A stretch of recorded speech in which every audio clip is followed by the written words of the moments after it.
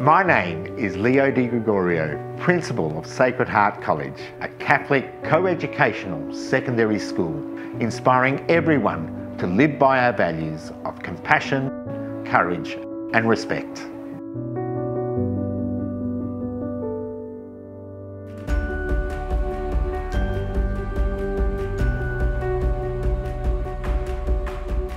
We have an outstanding reputation for excellence across our four pillars, spiritual, academic, cultural and sport.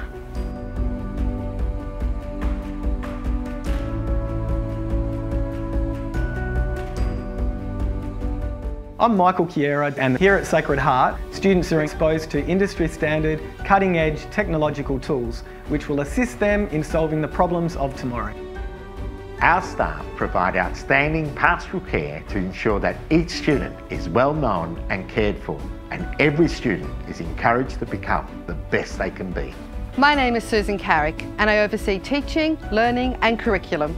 At Sacred Heart, we aim to develop our students to respond to Jesus by striving for personal excellence, having the courage of their convictions and being active agents of change. We want each individual to find their niche where they feel secure, confident and identified. We have developed a culture which encourages risk-taking and one that accepts that failure is a necessary part of the learning experience. We've actively moved away from a compliance-based model of education to one of innovation. Students are encouraged to be creative, collaborative and reflective learners.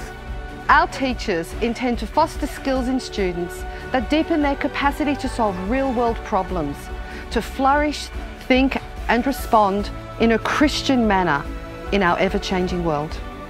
Everyone in our college community lives by our motto, always striving upwards. We look forward to welcoming you to Sacred Heart College.